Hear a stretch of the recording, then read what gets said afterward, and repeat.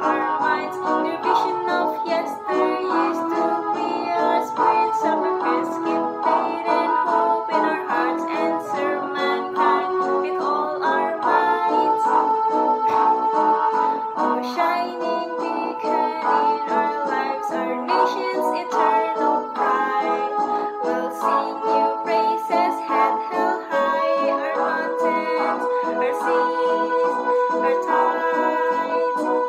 Thank you.